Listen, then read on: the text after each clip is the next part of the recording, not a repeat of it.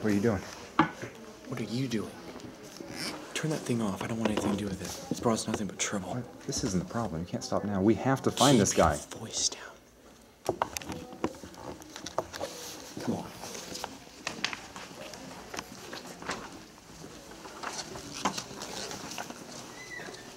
What is this proving?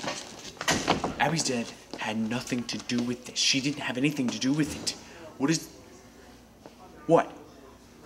What do you mean? Listen, he was following us from the beginning. We would have gotten somewhere if you just believed me from the beginning, instead of people getting hurt by this. This is your fault, and I don't want anything to do with this anymore. Oh. I'm done with this. Oh.